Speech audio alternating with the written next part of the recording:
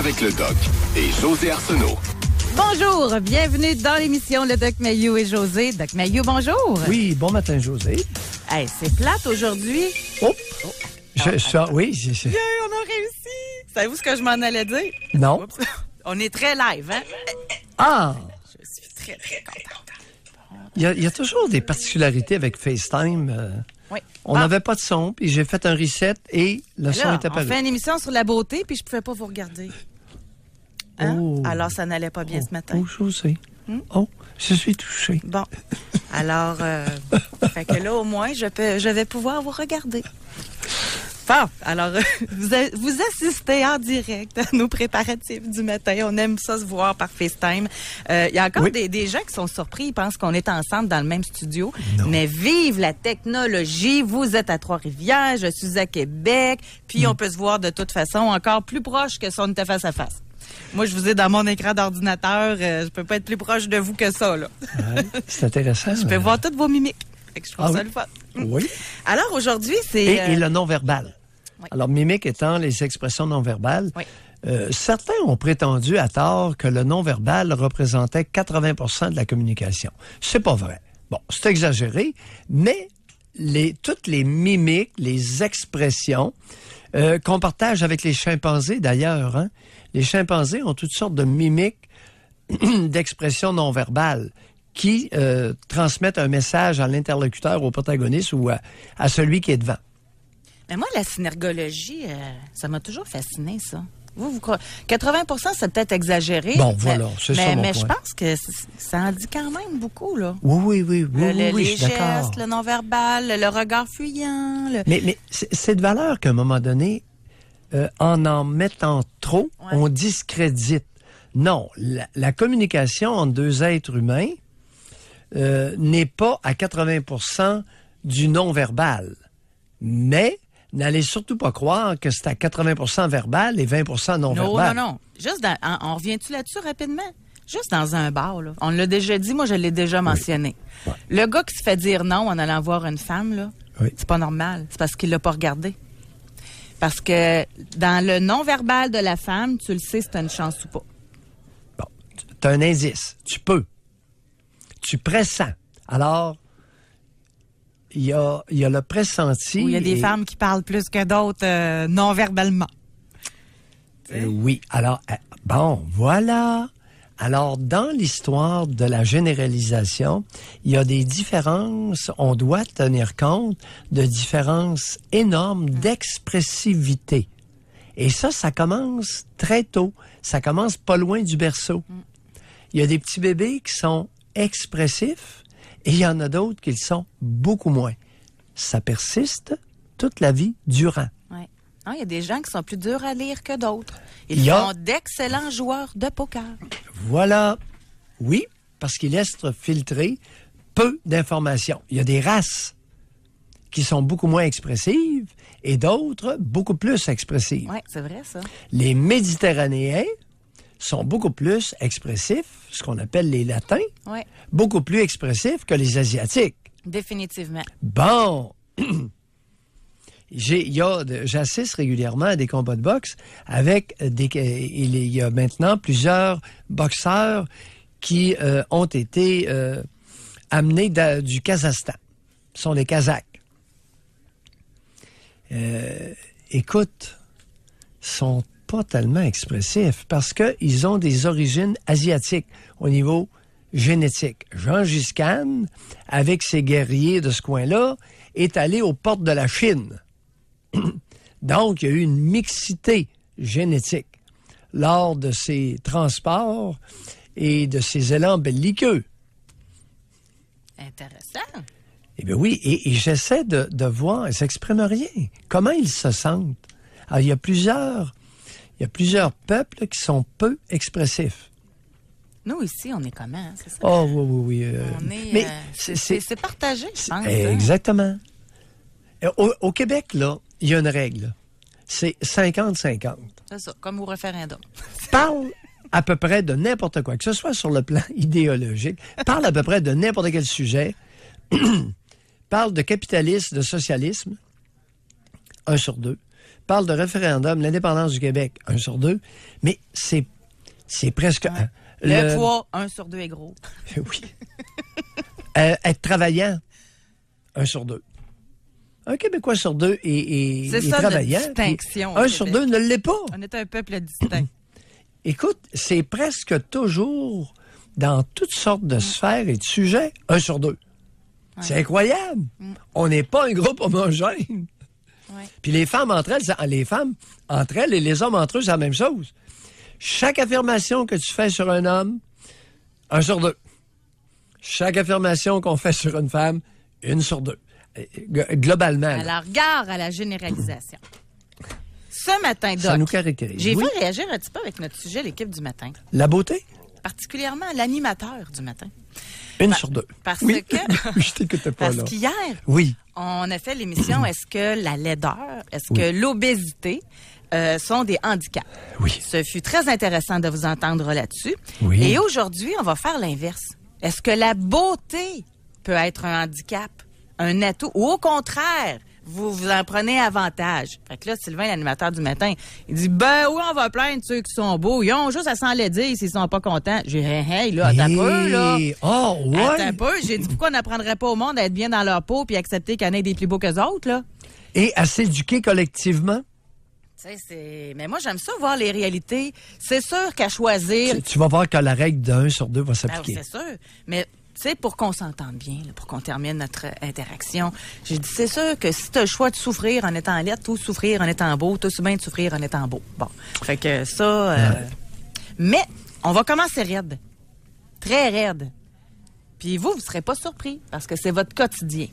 C'est une petite phrase que j'ai reçue en privé, là. Ben, mettons deux phrases, là. Deux lignes. Et ça m'a fait comprendre la profondeur de notre sujet. Parce qu'aujourd'hui, on va fonctionner de deux façons encore, par téléphone. Et on va fonctionner aussi par euh, notre question euh, Spring Spring par texto, là, OK? Et au téléphone, c'est en général. Est-ce que la beauté vous a euh, donné des difficultés, euh, amené beaucoup de jalousie, euh, discrimination à l'emploi? Parce que oui, hier, on parlait de discrimination à l'emploi pour les grosses, mais il y a de la discrimination à l'emploi pour les belles aussi. Puis j'ai des statistiques pour vous tantôt, là. Ouf. Et on veut J'ai hâte d'entendre ça. mais ce que j'aimerais beaucoup entendre, et ça, encore une fois, de l'émission Ce que j'aime puis de la participation des auditeurs, c'est l'inverse, là. Assumer le fait qu'il y a des femmes là, qui vont appeler pour nous dire Moi, je suis belle, puis je l'ai utilisé, ma beauté. J'ai obtenu tel poste. J'ai réussi, par exemple, à aller dans le bureau du prof, à être bien fine, puis faire annuler un échec que j'avais, puis leur virer en succès. On veut des exemples concrets parce qu'on le sait que ça existe, mais habituellement, sait toujours par des ragots de jaloux frustrés. Alors aujourd'hui, on aimerait ça que vous-même, en, en privé, là, au texto, au 25226, hommes-femmes, là, sûrement qu'il y a des hommes qui ont profité aussi de ça, là, qui sont rentrés dans le bureau de la maîtresse, de la professeure. Oh, femme. ça, c'est Ah oui, oui, oui, oui. Plus rare. Beaucoup plus rare. Ah d'accord. Un homme qui a utilisé ses charmes pour obtenir des faveurs, c'est pas trop fréquent. Alors que ce qu'on ne sait pas, Hey, Hmm. moi, je me rappelle de mon cégep, là. En tout cas, on généralisera pas, mais ça existe, là. Moi, j'en avais une prof. moi, c'est spécifique où ce que j'étais, en tout cas. Peut-être plus là, mais j'en avais une prof. oui, Puis les gars avaient des meilleures notes que les filles. Je dis filles-gars parce que c'était cégep. oui, oui. Mais euh, on le savait, là. Et qui était fin avec elle. Puis ça marchait. Puis c'était une femme euh, qui était de 45 ans peut-être. Est-ce que c'était un préjugé ou si elle était si les, les gars utilisaient leur charme dans son bureau? On s'en parlait. Oui, oui. Hein? Oui, oui, oui. on- C'était ouvert, là. Tu sais, c'est ça. Elle n'était pas perçue comme. Je ne pas commencer ça, d'un coup, qu'il y en a quatre places. Bon, on va arrêter ça, mais euh, On a, on a compris. c'était ça. Oh, ça ouais. existe. Bon, ça, ça m'a été rapporté beaucoup moins que toute une série d'histoires personnelles de femmes qui ont utilisé Ah, leur ben oui. charme Ben oui, dans des situations très variées. exact. On va aller à la pause. La petite phrase que j'ai reçue qui m'a fait comprendre de la profondeur de notre sujet. Et pour tous ceux qui disent que franchement, que c'est qui ont à se plaindre les belles femmes, ben il y en a une qui a dit J'ai été belle dès mon enfance et c'est sûrement pour cette raison que je me suis fait beaucoup taponner par mes mononcles. Elle aurait peut-être aimé ça être un peu moins bête. Elle aurait peut-être pu rajouter, madame, est-ce que ce serait, ou mademoiselle, est-ce que ce serait injuste de dire, à la connaissance et avec la complicité de maman? On va à la pause. On veut vous entendre. Vous êtes très belle, vous êtes très beau. L'avez-vous utilisé, votre beauté, pour euh, faire votre chemin? Ou au contraire, est-ce que ça vous a mis des bâtons dans les roues d'être beau ou belle? On veut vous entendre et on veut vous lire au 25 de 26. Joindre l'équipe du FM 93. Composez le 670 9330.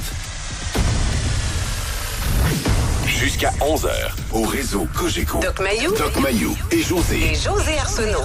Avec le Doc et José Arsenault. Aujourd'hui, dans l'émission, on veut savoir si euh, votre beauté a été euh, un handicap ou un atout.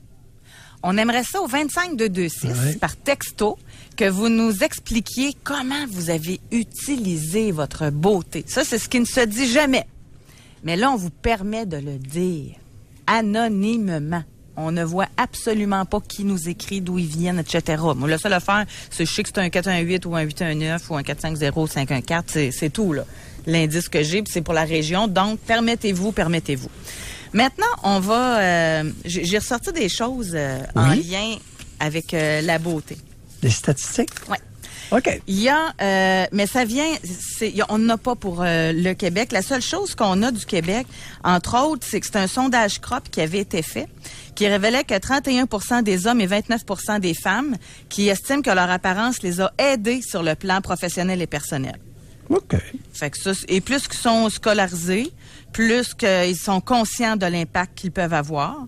Et ceux qui détiennent un diplôme universitaire, quelques 41 pensent que leur physique les a aidés. Bon, fait que ça, c'est nouveau du Québec. Mais on va aller euh, en Israël. Je trouvais ça intéressant. C'est euh, une étude qui a démontré que les femmes physiquement au-dessus du lot trouveraient plus difficilement du travail. T'es pas sérieuse. Ils ont répondu à 2656 offres d'emploi en envoyant pour chacune deux CV différents. OK, ça, ça a été rapporté dans le Figaro. Et la distinction entre les deux documents se trouvait dans la présentation des candidats. Un était pourvu d'une photo et l'autre non. Et le résultat, ça disait qu'il y a eu 22 de plus de réponses que ceux qui, qui ceux qui n'avaient pas de photographie, 22% plus de réponses que ceux qui affichaient le visage d'une femme ordinaire et 30% de plus que ceux qui montraient une femme séduisante. Fait que si t'es une femme et que tu vas avoir une entrevue d'embauche, tu mets pas de photo. C'est ça que ça veut dire. En Israël. Exact. Hein? Et pour les hommes, c'est le contraire. OK? Ah, oh, C'est-à-dire? Ben, la, la beauté, là, c'était pas handicapant. Mais attends un peu, il y a une explication. Quelle est cette raison de la discrimination? On dit que, par souci d'équité, les deux économistes israéliens ont présenté les huit photos de femmes à un jury dont le travail a été de classer ces dames selon une grille esthétique. Une enquête montre que les services de recrutement d'entreprises sont gérés par des femmes à 93 Attends un peu. Service, c'est vraiment, c'est capital ce que tu dis là. C'est c'est ça. En Israël, le service de recrutement de personnel. C'est des femmes à 93% qui occupent les postes. Hein? Ça vous dit-tu de quoi? Pourquoi que les hommes, il n'y avait pas d'impact puis que les femmes, il y en avait? Comment ça se fait que j'ai eu la mauvaise idée de dire à un moment donné que lorsqu'une société, le matriarcat sera mur à mur au Québec, ce sera une société inférieure? Veux-tu bien me dire où j'ai pris ça? Continue. J'ai mon maudit voyage. Je pensais jamais te confirmer de cette façon-là. Fait que tout de suite en partant, là, on va juste s'allumer une lumière. Si vous êtes à la recherche d'un emploi, OK? Puis que vous savez que c'est un homme que- avec qui vous allez passer l'entrevue, vous pouvez vous mettre sur votre euh, 36. Mais si vous savez que c'est une femme, mettez-en pas trop. En tout cas, moi, c'est ça que je ferais. Mettez-en pas du tout. Ordinaire. Très ordinaire. J'ai mon maudit voyage. C'est quelque chose, hein? La rivalité de femelles serait universelle. C'est pas beau, la rivalité de femelles. C'est pas beau. C'est une rivalité instinctive. Mais un coup que tu es engagé, il y a un avantage, par contre. Être beau permet de gagner jusqu'à 15% de plus par année. Un coup que tu es engagé. Euh, hommes et femmes? oui, ben Pas- non, non, non, non. 14% pour les femmes et 9% pour les hommes. Ils appellent ça la prime de beauté. Ouais, euh, il y a une légère différence entre les deux. 14% Ouais. Mais, par contre, plus de... ça oui. bloque à un moment donné. Parce que la belle femme, là, tu sais, dans des postes euh, ordinaires, elle est bien correcte. Mais ça se peut pas, une belle femme intelligente, là, Doc Mayou. Fait qu'elle peut pas accéder à des gros postes, là. Ah, ben bout de chien. Ouais, Et ça, tu chantes, hein? ouais, ouais, Toujours en Israël? Non, là, je suis partout, là. Parce que là, je suis Oui. dans des études qui parlent de la France, des États-Unis, puis les chiffres se ressemblent. Tu sais, il y en a un, c'est aux États-Unis, puis ils disent que être beau permet euh, d'économiser, permet de gagner plus de 15 Ça, c'est aux États-Unis. En France Oui. aussi, il y a des sociologues qui euh, sont Oui. penchés sur euh, la question. Euh, il y a un professeur de l'Université du Maryland également qui dit qu'avoir un joli minois n'est pas toujours bien vu au travail parce que les belles femmes sont d'office perçues comme moins intelligentes et moins compétentes. T'es pas sérieuse? 2000... Ça, mais 1940, ces études-là, là. Non, non, non, non, non. Ça, on est dans, on est très euh, contemporain. Dans les années, c'est ça. Dans les, tout ça, c'est 2000 et plus, là. Ouais. T'as référé aux possibilités d'avancement. As-tu, est-ce que j'ai bien compris Ouais. que la beauté et le charme féminin seraient un handicap lorsque vient le temps de gravir l'échelle? mais encore Non? là, oui, mais surtout les blondes. Oh, oh, oh! Mais attendez un peu, je vais vous le lire au complet. Là. Ça, c'est euh, c'est ça, c'est aux États-Unis. Le fait d'être blonde aux États-Unis génère un surplus de salaire qui correspond à une année d'études supplémentaires auquel s'ajoute le fait que les hommes mariés à une femme blonde gagnent 6% de plus que les autres aussi. Mais on dit que cet avantage devient un handicap à mesure qu'on s'élève dans la hiérarchie professionnelle, puisque les femmes blondes sont plus souvent écartées des postes de direction en raison des mêmes préjugés qui les servent dans d'autres circonstances. Là, là, matin, là, c'est, voyez, c'est ça. la beauté et la couleur de cheveux Ouais. seraient, deviendraient un handicap pour des postes supérieurs. Ouais. On convient-tu qu'en 2018, on n'est pas rendu trop loin dans l'évolution humaine? On, on peut, est-ce qu'on peut prendre ça comme un exercice d'humilité ce matin? Ben moi, je, je vais aller plus loin que ça. Oui. Moi, j'ai une anecdote personnelle encore. Je ne vous dirai pas où, dans quelles circonstances et en quelle année. Mais j'ai eu un collègue déjà dans ma vie qui, lui, quand il engageait quelqu'un dans son équipe, fallait pas qu'elle soit trop belle. Parce que sa conjointe n'aimait pas ça.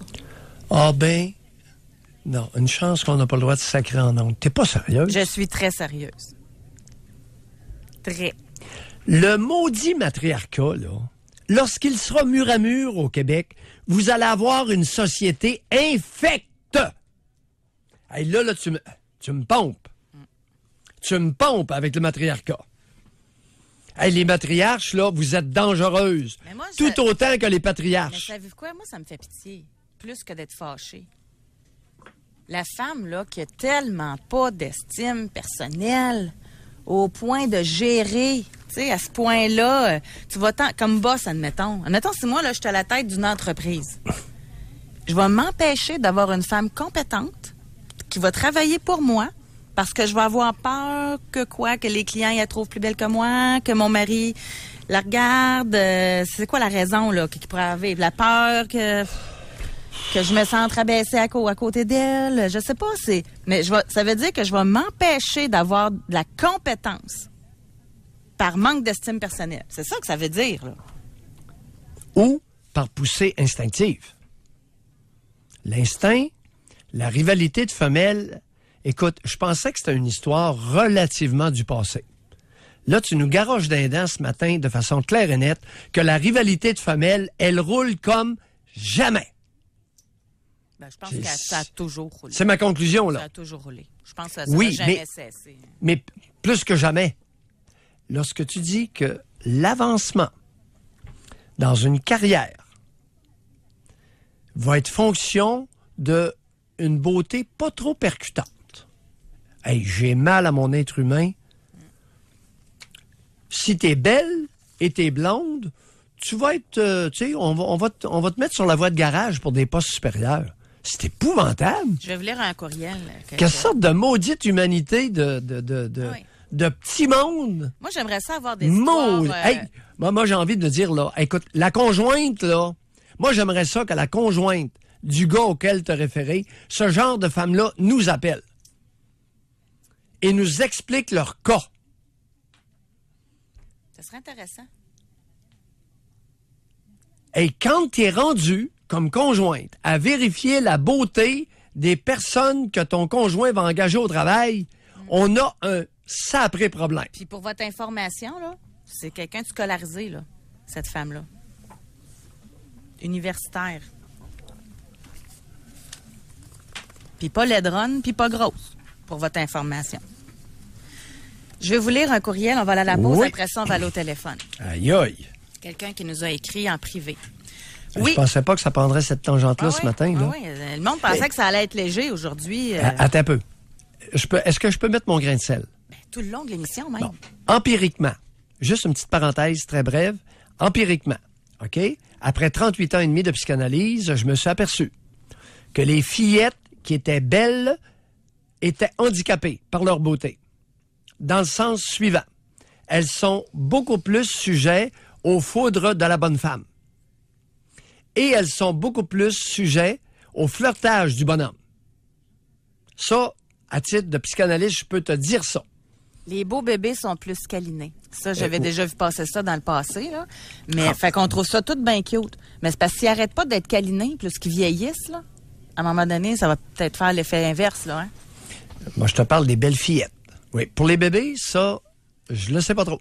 Mais pour les belles fillettes, Ouais. souvent, le fait qu'elles soient plus belles que la moyenne devient un handicap avec la génitrice et avec le Ben, Il y a géniteur. des avantages aussi, par contre. Là, vous, euh, je peux comprendre votre point de vue dans la famille, mais j'avais déjà lu aussi dans le passé que les enfants beaux ont plus d'attention de la part du professeur.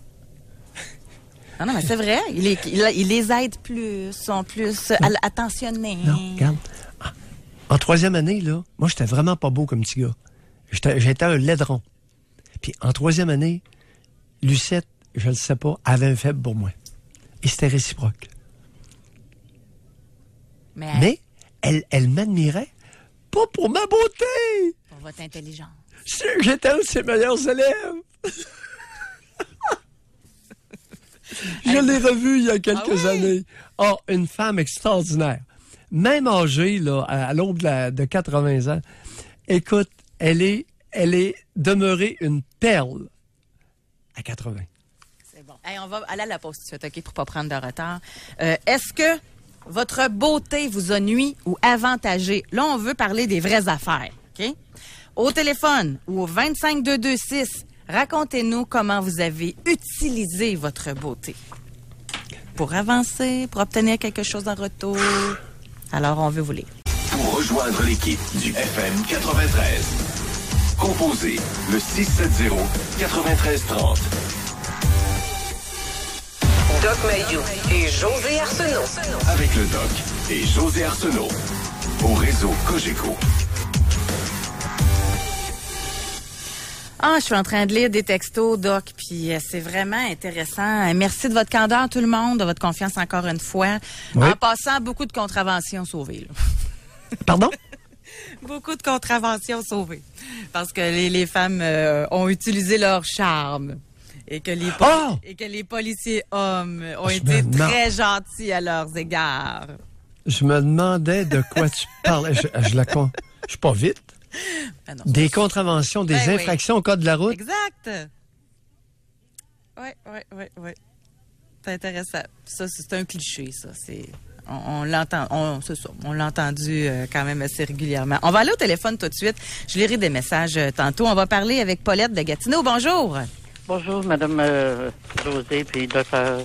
Félicitations pour votre belle émission. On apprécie. Merci. Merci, Paulette. On vous écoute. que vous faites. Oh, Euh, moi, on se fait aller. vous- Pardon. J'ai dit, on se fait aller pas mal, oui. Allez-y, Paulette. c'est bien apprécié. Soyez Oui. rassurés. Euh, c'est pour vous dire, Madame José, comment vous avez complètement raison. C'est vrai que la beauté, c'est vrai qu'elle ne peut pas toujours nous servir. Pour moi, ça a été un drame toute ma vie. À cause que même quand j'ai été euh, violée, euh, la première fois, que j'ai été violée trois fois, la, la police m'a répondu, ben vous aviez beau pas être belle. Hein? Ça ça- oui, c'est- La police vous a dit Oui, ça? la police elle nous a m'a- dit ça. Ça fait combien d'années, Paulette, ça? Ça fait plusieurs années, par exemple. Ça fait 45 ans. Mais quand même. Mais un viol, tu restes toujours marqué. Puis vous aviez quel âge quand c'est arrivé, ça? Euh, J'avais les 25, 26 ans. ben, J'étais plus vieille que ça. Euh, parce que j'ai eu trois viols. là. Alors, euh, un était à peu près comme un peu. c'est- C'était terrible, les aventures. Mais ce qui arrive, c'est que même quand j'ai été divorcée, mes sœurs m'ont toutes euh, euh, abandonnée, me disant Ben, t'es tellement belle, je suppose que tu vas nous prendre nos maris. Été. C'est pas possible comment de la beauté, la méchanceté des gens autour de nous quand nous sommes les femmes quand on est Vos belles. propres sœurs, Paulette. Oui, c'était l'enfer.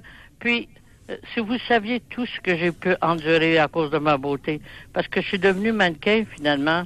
Puis là, je me, je me faisais traiter de guedoune parce que être mannequin, c'était une guedoune. Ça fait que c'est, on, on- ça nous démolit toute notre vie. Euh, vous avez dit tantôt, c'est vrai que notre beauté peut nous servir, mais comment est-ce qu'elle peut souvent nous détruire aussi?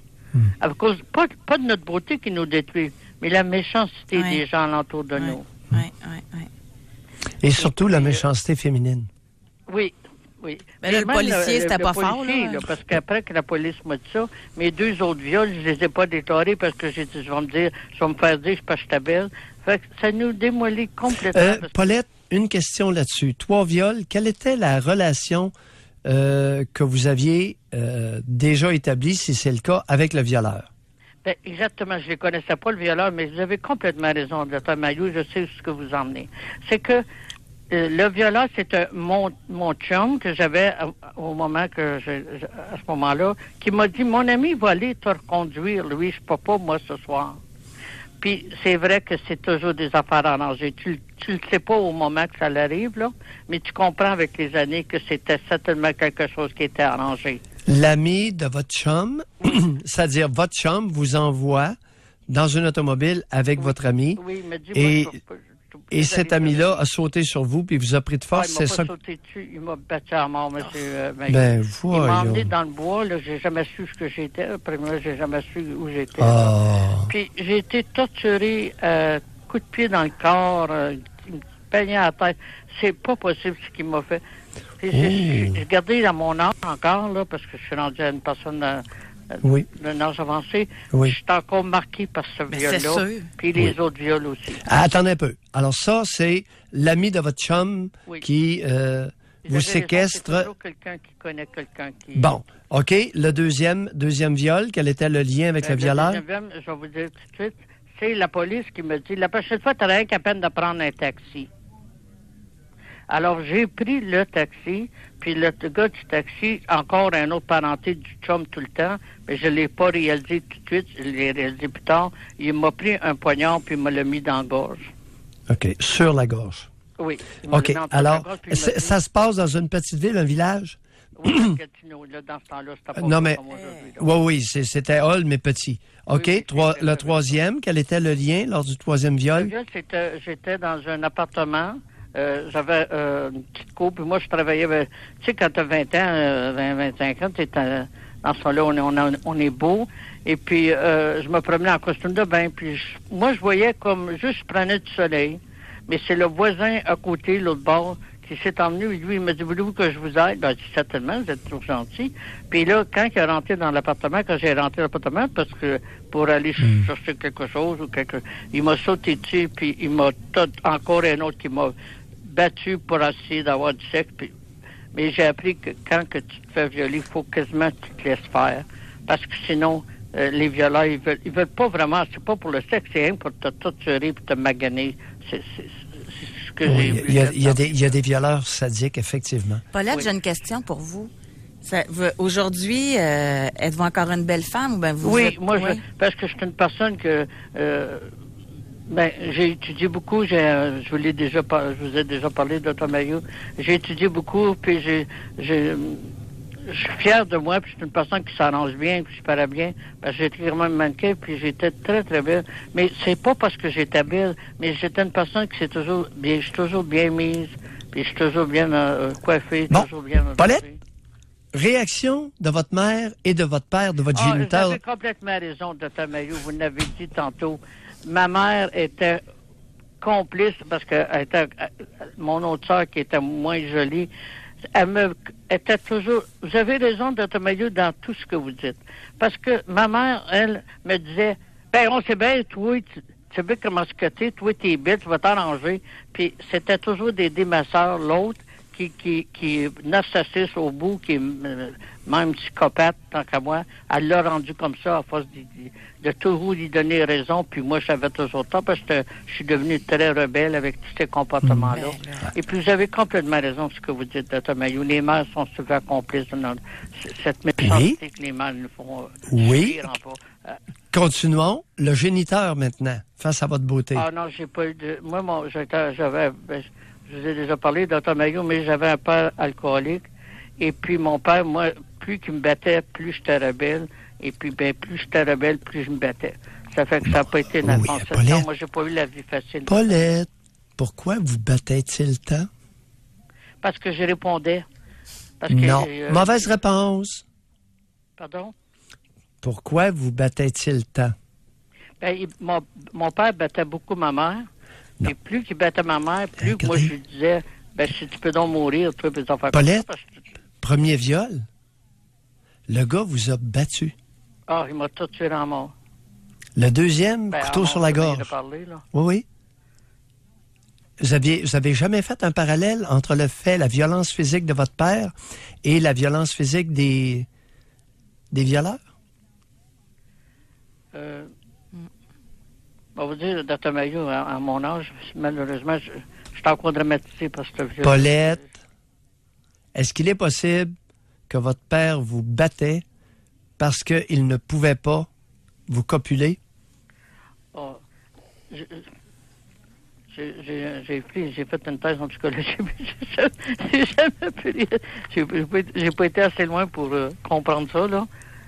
Parce que j'ai essayé de comprendre pourquoi les gens nous Vous maganaient. savez, dans quand vous appelez à l'émission, passez pas dix minutes parce que vous allez faire un cours universitaire. Merci, Paulette. Merci beaucoup. Vous Bye. félicitations encore pour le beau travail. Merci, vous. Paulette. C'est triste, hein, quand même. Elle a fait une thèse en psychologie, Ben mais oui. pas aller aussi loin que nous autres en, en moins de 10. Mais c'est comme difficile à concrètement, là, à- pas à croire, mais à, imaginer. Là je, pense à toutes les femmes qui se sont faites battre par leur père dans leur jeunesse, qui doivent essayer de faire des additions dans leur tête. C'est dur à imaginer que ton propre père te bat parce qu'il ne peut pas te copuler. Il te bat parce qu'il, dans, dans beaucoup de cas, il bat sa fille parce qu'il la convoite sexuellement, mais il n'est pas capable de franchir l'interdit incestueux. Puis il la recette solide. Je peux vous l'assurer. Et il utilisait son alcoolisme pour se justifier. Sa génitrice utilisait l'alcoolisme du bonhomme pour justifier le fait qu'il donnait des dégelés à la petite. Elle le savait très bien qu'il la convoitait sexuellement. Ça dit pourquoi? Parce qu'une fois qu'il l'avait battue, là, il était sexuellement très excité Ah, avec sa, sa conjointe. C'est fréquent, cette histoire-là. Mais en passant, quel genre de femme ça tente d'avoir des relations sexuelles avec son conjoint qui vient de battre sa fille? Voulez-vous bien me dire? S'il est excité comme jamais, il y a des femmes auxquelles ça fait du bien. Hey, vous êtes rough à On, vous, là. on parle de ramonage de cheminée inédite. Non, mais une femme équilibrée, là. Elle Ah m'apporte. Ben non, ben non, Elle va pas le copuler, là. Ben oui, mais écoute, les femmes équilibrées, là, c'est pas moi. L'État le dit, c'est 20 OK? C'est 19% de la population qui est équilibrée. 80% à des degrés différents en déséquilibre. Ça, on en reparlera à un moment donné. euh, de- C'est de Layton, ça vient pas de moi, là. Alex Layton, 1968. Ouais, c'est vieux aussi, là. Alors-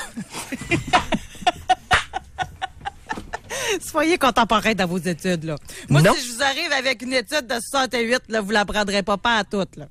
Oui, mais. Étude, je- étude d'Alex Layton de Cornell Université à New York, jamais contredite. Ah, OK.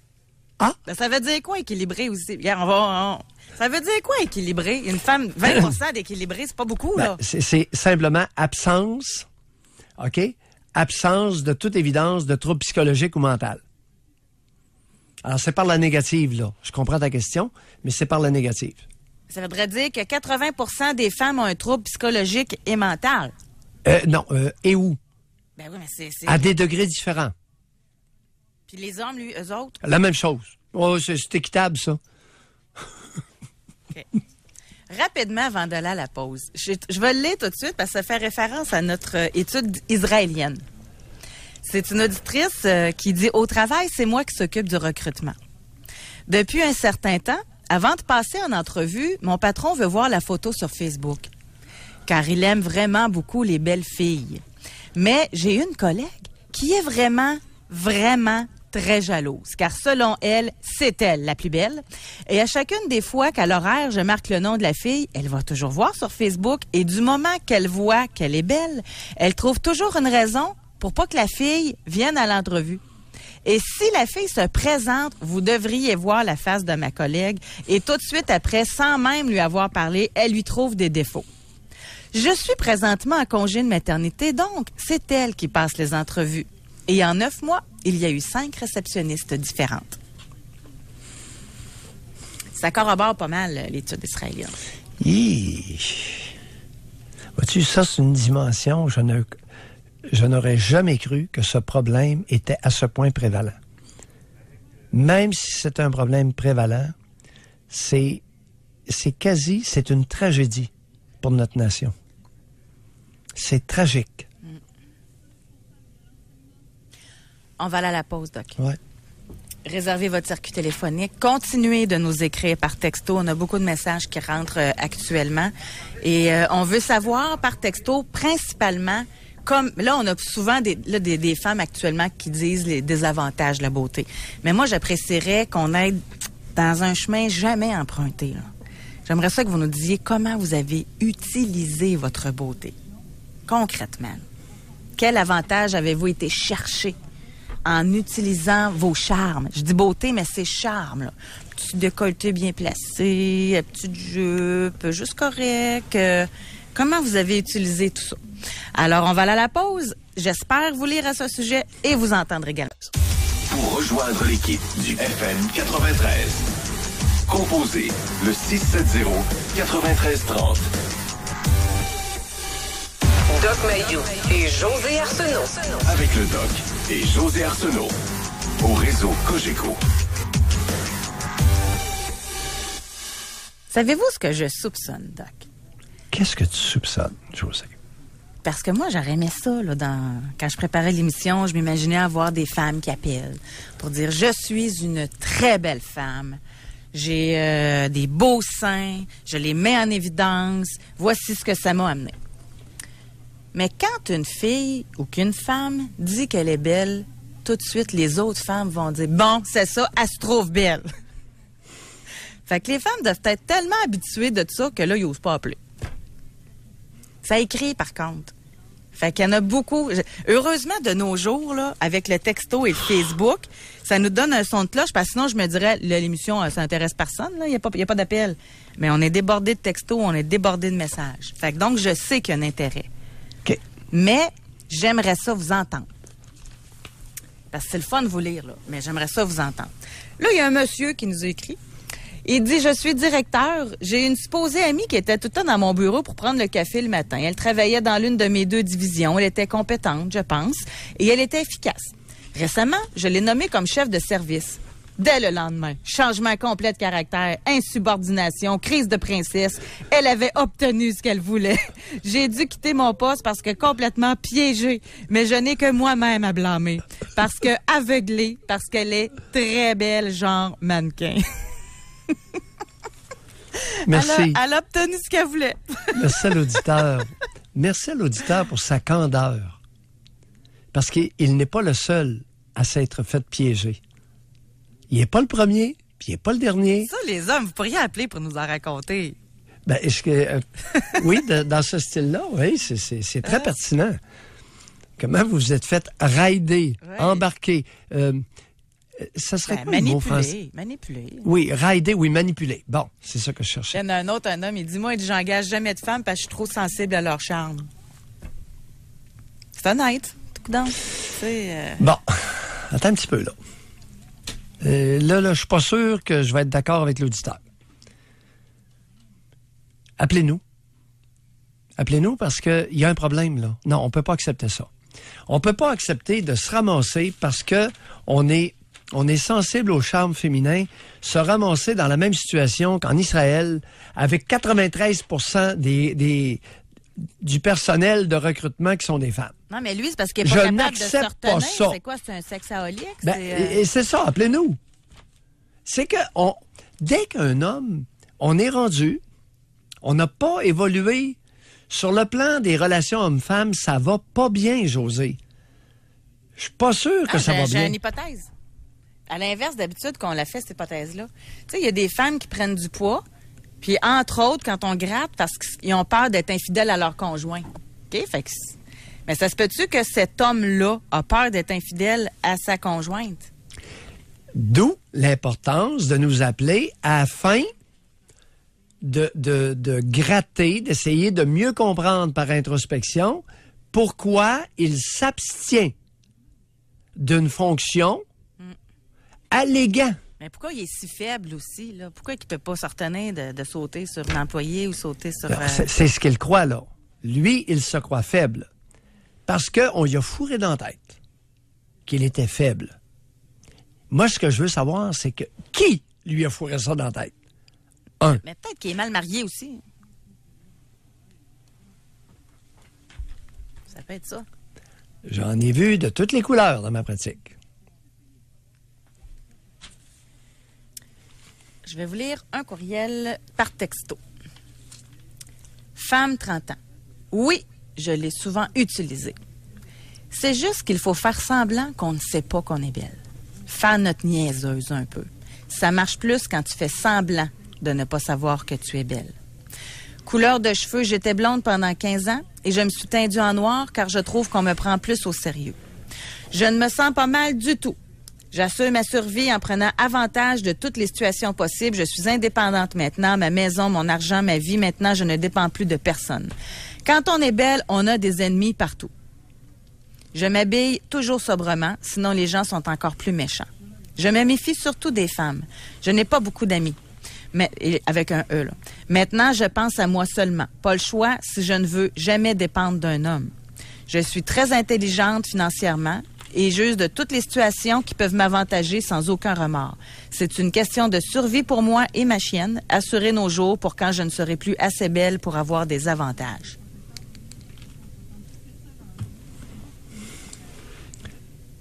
C'est clair. Et triste. C'est clair. 2018, cette femme-là a 30 ans, chers auditeurs. Est-ce qu'il y a un problème dans notre collectivité?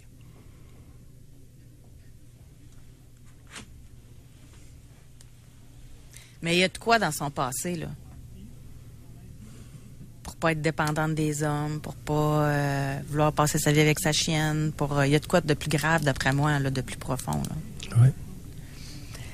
Euh, on a une femme. Si, écoutez, vous êtes, madame, mademoiselle, vous êtes la bienvenue pour nous appeler. Maintenant, on respecte. Si vous voulez demeurer vraiment anonyme, on le respecte aussi. Là.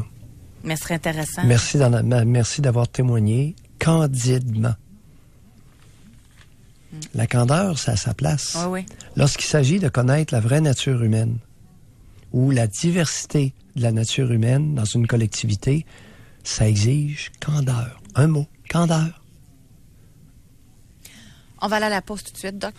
Oui. On a plein de, de- de textos, mais continuez, là. J'adore. Et euh, vous pouvez nous Oui. téléphoner. D'ailleurs, là, on va parler à un homme, Michel, au retour euh, de la pause. Mesdames, ah oui, il est donc. là. J'aimerais ça parler aux belles femmes. Dites-le nous de vive voix. Comment ça peut être un avantage ou un désavantage d'être belle. pour rejoindre l'équipe du FM 93. Composez le 670 9330. Doc Mayou et José Avec Doc Mayou et José Arsenault. au réseau Cogeco. Il y a quelqu'un qui vient de nous écrire, Doc. Oui. On, on parle des... euh, et là, ça s'en vient le fun, là. Elle est là à 10h30. J'espère que la dernière demi-heure, on va avoir des filles qui vont se déjeuner puis des femmes, là. Alors, on veut savoir, avez-vous déjà utilisé votre beauté? Pour obtenir quelque chose en retour? Mais parallèlement à ça, on veut savoir si la beauté, c'est un handicap pour vous ou euh, un avantage. Mais là, il y a quelqu'un qui nous a écrit pour dire, moi, j'ai connu une avocate belle et sexy. Elle me dit un jour, en partant travailler, tu vas voir, je vais gagner aujourd'hui avec ma petite jupe quand le juge va me regarder et peut-être pas rapport, mais oui, elle a gagné. Bon. Alors, euh, d'où l'importance de la toge en cours. non, non, c'est- c'est- écoute, ça fait 38 ans que j'agis comme expert devant les tribunaux. Et une des raisons pour le port de la, de la toge en cours, c'est pour éviter les, euh, les tenues affriolantes devant un juge masculin. Une des raisons. Alors, écoute, euh, je- 38 ans que je fraye dans ce milieu-là, j'ai vu, entendu beaucoup de choses. C'est pas des Moi, racontars, trouve ça là. J'étais moi. là. Moi, je trouve ça beau. euh, Je trouve l'image belle, moi. Les, tu sais, une belle femme en petit tailleur, sérieux, mais juste féminin, là. Moi, je trouve ça super beau, là. C'est, fait que c'est sûr que si moi, je trouve ça beau, il y a des hommes qui doivent pas haïr Bon. ça non plus, là. Alors, anecdote. J'étais témoin, brièvement, un tribunal administratif. Il y a une avocate qui s'est présentée et euh, il y avait un, un juge masculin euh, et deux commissaires. Tribunal administratif, c'est soit à deux ou à trois. Ils, étaient trois, dont une femme. L'avocate s'est présentée avec tailleur, la, la jupe, le veston, mais le veston l'a ouvert. OK? Déboutonné. Toute la journée. Ce qu'il y avait sous le veston, c'était une blouse ou un vêtement de tulle totalement transparent. Oh! Et elle avait un maudit beau soutien-gorge en dentelle. Qu'on voyait. Écoute, ben, ben, Oh! Je dis- je sais pas, c'est pas une blouse, là. Fait qu'elle, elle pourrait nous appeler pour nous dire qu'elle a utilisé sa beauté. Elle a-tu gagné? Oui, C'était-tu mais elle s'est rama- elle s'est ramassée avec une plainte au barreau. Ah, à cause de son euh, Ben voyons. OK. Elle, a Et- poussé le saloc trop loin, là. Et j'ai été témoin. Alors, d'une tenue, je vous le dis, les amis, la scène, le veston est ouvert, 12 pouces. Et là, ce qu'on voit, puis je la passait devant moi, c'est un, un vêtement, j'ai pas de nom, c'est pas une blouse, il n'y a pas de bouton après ça. C'est un vêtement qui va jusqu'au cou, mais qui est de la tulle. Moi, j'appelle ouais. ça de la tulle. Ah ouais, un petit- OK? C'est-à-dire totalement, extrêmement mince et totalement Ça transparent. devait être beau, par exemple. Mais pas au Et- tribunal. je me souviens de son soutien-gorge mauve. Il, il était beau. Puis elle avait juste la grosseur de sein pour le remplir. Ah. Ben, vous, vous avez encore l'image en tête, hein? Ça fait 7-8 ans de ça. Bon. Je m'en rappelle comme c'était hier. Bon. Mais, Fait que ça vaut la peine d'investir dans des bouts dessous. mais c'était pas la place. C'est inacceptable. On va aller au téléphone. On va parler avec Marie qui nous appelle de Victoriaville. Bonjour Marie. Bonjour. Oui, Marie. Comment avez-vous utilisé votre charme, Marie? Ouais, là, là, là, je- on retourne dans le temps parce qu'aujourd'hui, euh, je je suis début soixantaine. Mais dans le temps, j'étais euh, jeune et fringante, puis euh, j'étais dans l'immobilier. J'étais agent immobilier. Oui. Et euh, j'étais quand même, euh, j'étais vraiment une très belle femme. Ben, je le suis encore, là, mais j'avais la jeunesse à ce moment-là. Et j'avais un client qui venait de l'extérieur du pays, une famille super sympathique, qui, euh, qui voulait se procurer une maison à Montréal.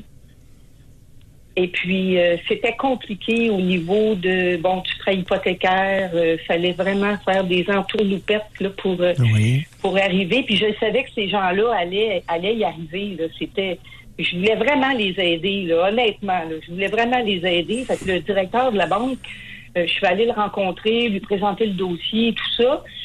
Puis, euh, je vois quand même qu'il est assez réticent. Alors, euh, ben, j'ai écouté.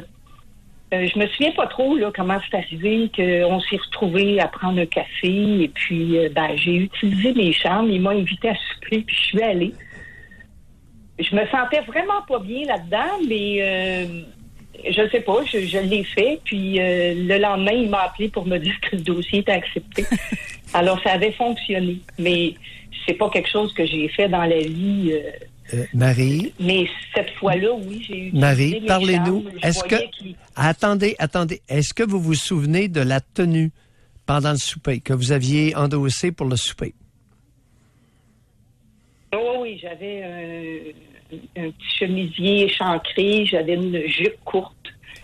Euh, j'étais, ou non, je m'étais habillée évidemment, euh, pas, pas sexy, sexy parce que c'était pas dans ma nature, là, mais c'était vraiment quelque chose de très, très joli, puis euh, ben, avec quelques boutons euh, en moins. là. Alors c'était, euh, mais c'est sûr que j'ai, jamais compté ça à personne. Évidemment. J'ai pas compté ça à mon client, surtout pas. Ben non. Mais euh, il était vraiment très, très content. Mais attendez un peu. Vous avez vous amenez un point qui est intéressant. Pourquoi n'avez-vous pas raconté ça à personne jusqu'à ce jour? Ben, parce que je me sentais pas confortable là-dedans. Je trouvais que ça faisait un peu, euh, je vais utiliser le mot, là, ça faisait un peu pute sur les bords. là. Parce que je sais, je, je, je- c'était pas professionnel là, de, de ma part. C'était pas, je le savais que c'était pas correct. là. Mais j'ai- risqué le tout pour le tout, mais ça aurait pu se retourner contre moi. là. Et ça vous donnait combien de commissions? Ah, ça, la commission, je m'en rappelle pas, par exemple. Je me souviens juste que le client était super content. Mais euh, la commission, ça, je m'en souviens pas. J'ai aucune idée. Je me, je me rappelle pas. Et je, je ne pense pas euh, que c'était important.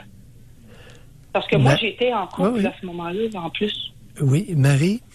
Combien de temps a duré le souper? Est-ce que vous vous souvenez du temps, quelle heure qui a débuté, puis à quelle heure le souper s'est terminé? Ben, c'est parce qu'on est allé souper, puis après ça, on est allé ailleurs. là. Alors, ça a été, euh, êtes- que ça a été consommé. Ah, Pardon? Ça a été consommé. Attendez un Oh, peu là. oui, ça a été consommé. là. Je suis allée jusqu'au bout. C'est-à-dire? Ben, c'est-à-dire que je suis allée, euh, on va dire, on va dire baiser, là, parce que c'était pas faire l'amour. Non, non, je vous suis êtes allée baiser avec. Non, non, c'est Pardon? c'est pas. euh, euh, euh, utilisez des mots. On va utiliser des mots. Vous avez, vous avez, vous avez eu une relation sexuelle complète avec. On va demeurer Oui. neutre parce que baiser, c'est péjoratif. OK. Alors, vous êtes allé ailleurs. Cet ailleurs-là était quoi? C'était à motel. L'hôtel. À l'hôtel, vous êtes. À l'hôtel? Et c'est lui qui a payé la chambre d'hôtel, j'imagine? Ben oui. Et vous êtes demeuré combien de temps à l'hôtel? Ouais. Bon, quel... Écoutez, euh, vous me posez À peu- des questions. à peu quelques, près. Non, mais- quelques heures. OK, Non, quelques heures. quelques heures. Je dirais euh, peut-être euh, peut-être une heure ou deux. Une heure ou deux? Parce que moi, il fallait que je rentre, à- fallait que je rentre, moi, là. Oui, oui, c'est pour ça que je vous pose la question. Vous étiez marié, puis vous aviez, euh, vous aviez une fonction sociale, une fonction, euh, une fonction professionnelle ce soir-là. Mais il fallait pas quand même rentrer Oui. à 4 heures du matin, là. Non, non, non, ben non, c'est dur d'expliquer ça. OK. Ouais. Alors, c'est ça. C'est, c'est- je vais- j'ai utilisé mes charmes, mais je vous dirais que c'est vraiment euh, euh, Euh, question la seule indiscrète. fois où Question indiscrète, Marie. charmes. Parlez-nous de votre excitation sexuelle pendant la, la relation. Euh, aucune. Êtes-vous sérieuse?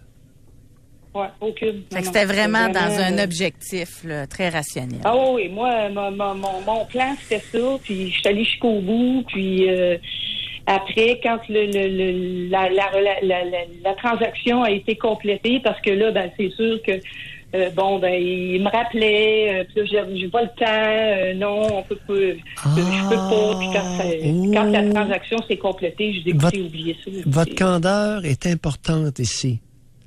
Parce que lui, le directeur de la banque, il aurait voulu donner suite à votre, à votre relation sexuelle complète.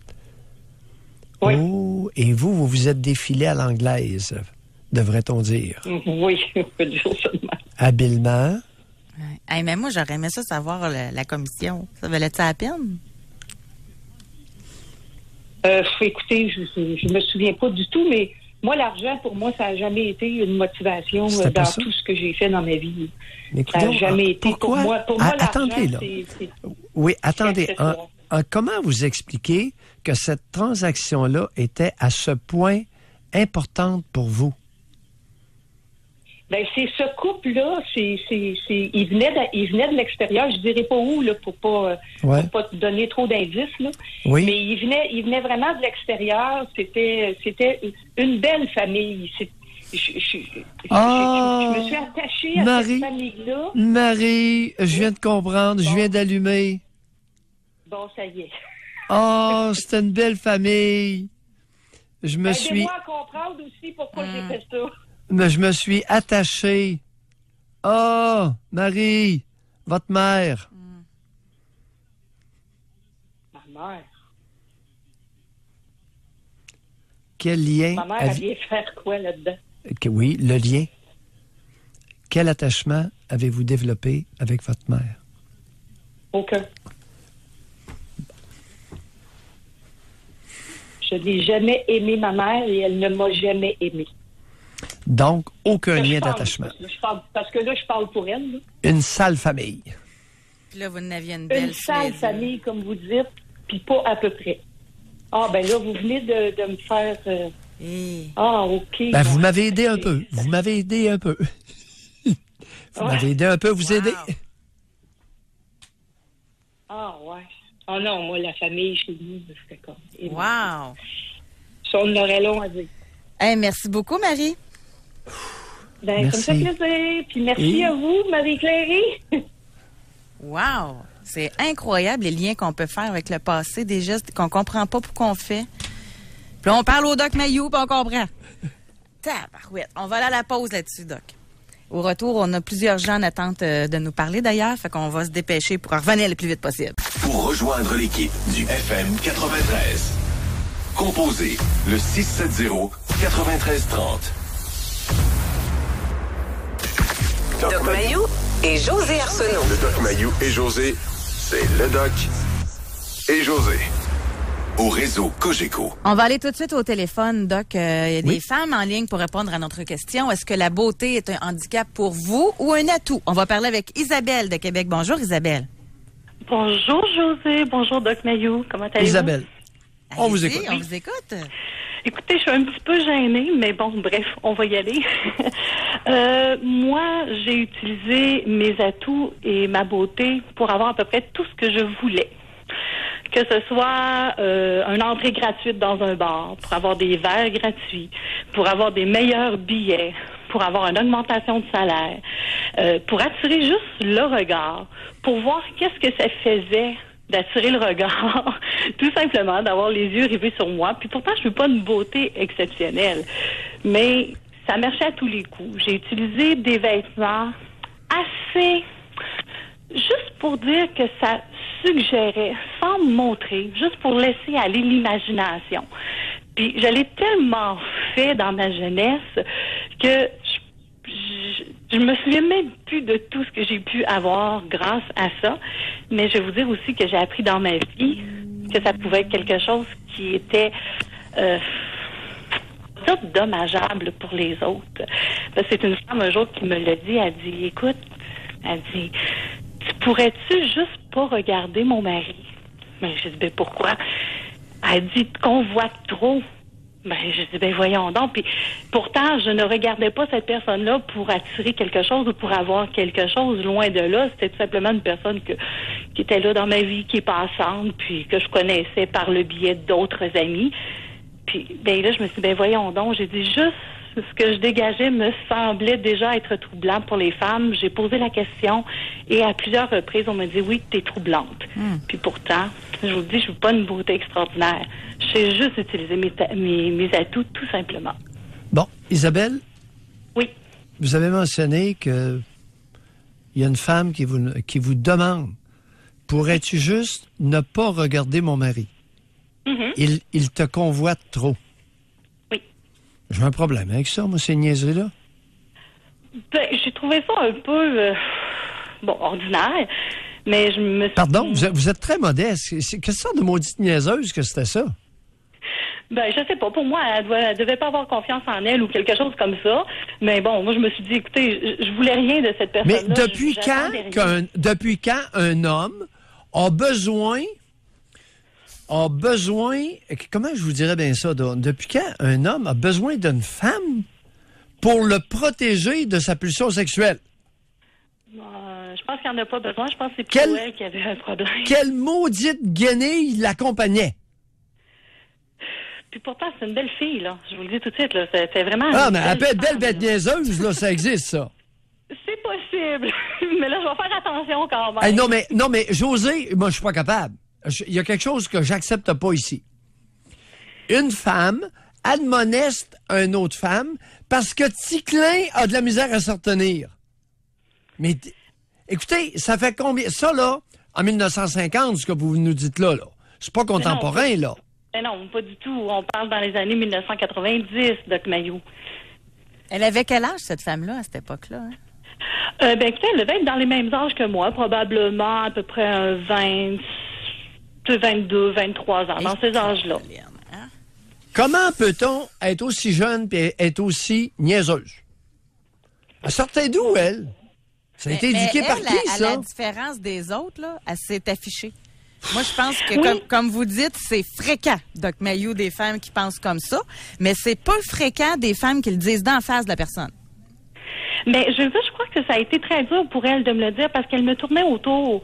Sais, elle m'aime parler, puis tout ça. Puis, tu sais, je le voyais, les sujets qu'elle abordait, des fois, c'est comme, ben voyons, c'est quoi qui se passe? Puis, hum, on va dire que moi, j'ai fait ma niaiseuse, je l'ai laissé porter parce que je J'étais pas là, là. C'était pas ça, là, euh, ces, ces journées-là. C'était pas ça du tout non plus avec cette personne-là. Puis un jour, ben. Quel est le pourcentage, Isabelle, d'après vous, quel est le pourcentage de femmes qui sont niaiseuses à ce point-là? Qui agissent en forteresse euh, pour défendre là, ou réprimer ou canaliser la pulsion sexuelle du conjoint? Ben, je vais vous C'est- dire. C'est-tu une niaiseuse exceptionnelle ou c'est une niaiseuse fréquente? Ben moi, je pense que c'est une fréquente. Moi, je pense que c'est une fréquente parce que quand je me suis mis à parler avec euh, des personnes que je connaissais, des amis, des gens autour, puis tout ça, tout le monde me faisait un peu la même remarque. Il y en a qui disaient, ben écoute, euh, si je me rendrais compte de ça, c'est sûr et certain que je le dirais, ou je ferais des actes pour, euh, euh, faire bifurquer euh, le, le- Vous, êtes, vous une très bonne personne. Vous êtes une Hein? très bonne personne. Vous êtes pleine de bonté.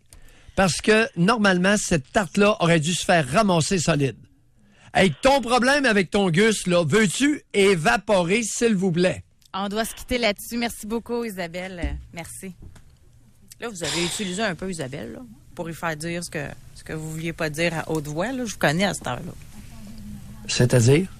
Selon vous, Isabelle, c'est fréquent, ça, des femmes comme ça? Non, je ne sais pas. Euh, Honnêtement, là, j'ai hâte qu'on étudie le phénomène.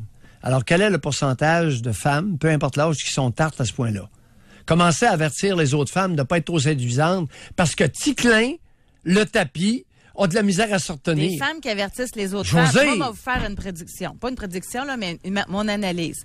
Des femmes qui avertissent l'autre femme, ça doit être 2% Des femmes qui pensent ça, mais qui le disent pas, ça doit être 60% Selon moi. Il y a, Si il y a- il y a jamais- beaucoup de jalousie, là, Si jamais j'avais une compagne rivalité. qui agirait comme forteresse de ma pulsion sexuelle incontrôlée, je serais, je serais furax. C'est une insulte à, la- à la relation égalitaire. C'est une insulte. C'est pas l'inverse, ça se fait. Hein? Un homme qui va voir un autre homme pour dire Hey, arrête de regarder ma femme. euh, Ça doit être moins fréquent. Euh, oui, non, ça peut arriver, ça, par exemple. Oh, oui, les jaloux, euh, non, non, ça, ça arrive aussi. Oh non, il y en a pas mal plus qu'on pense. Oh, oui. Il y en a une femme de 29 ans qui nous a écrit. Oui. Elle dit Ça fait trois ans que je travaille pour un patron qui approche les 70 ans. J'ai eu droit à 20% d'augmentation de salaire la première année, 10% la deuxième avec plus de vacances, 12% la troisième année. J'ai mis un décolleté la première année, mais je me suis rendu compte que j'avais rien à faire vraiment les années suivantes pour avoir ça. Mes augmentations ne sont clairement pas dues à ma productivité car je fais toujours la même affaire. Je pense que le fait que je suis jeune accentue l'effet de mon apparence. Tout ça est possible. Ça fait partie du comportement humain. Tout ça est plausible. Oh, il y en a une femme de 28 ans qui vient d'écrire. Elle dit Adolescente, ma meilleure amie, quand on sortait veiller, me demandait de ne pas me mettre belle pour qu'elle ait des chances avec les gars. Et de ne pas me mettre en maillot quand on allait à la plage pour qu'il ne regarde qu'elle. Ce qu'on n'a pas comme information, c'est est-ce que vous lui avez obéi ou ben non? Écoute, il y a des crackpots dans les deux genres. Et crackpot adolescente, crackpot adulte et crackpot plus vieille. Dans les deux genres. On manque pas de crackpot dans la nation.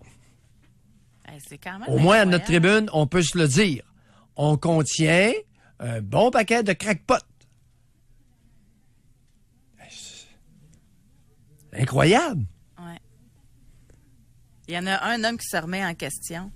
Puis il dit, euh, comme directeur, j'ai fait passer plusieurs entrevues et en tant qu'homme, je me questionnais si la beauté de la candidate influençait mon choix. Je crois avoir su discerner la compétence derrière la beauté ou la banalité vue que les candidats et candidates choisis étaient généralement bons. Mais si on faisait un exercice là, à talent égal, d'après moi, la beauté l'emporte. Là.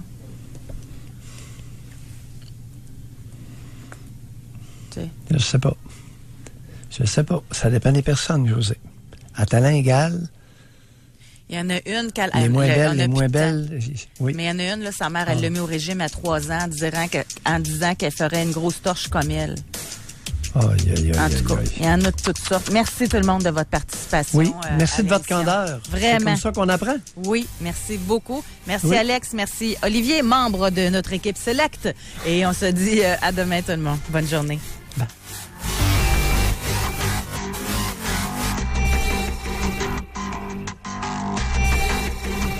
Doc Mayou et José.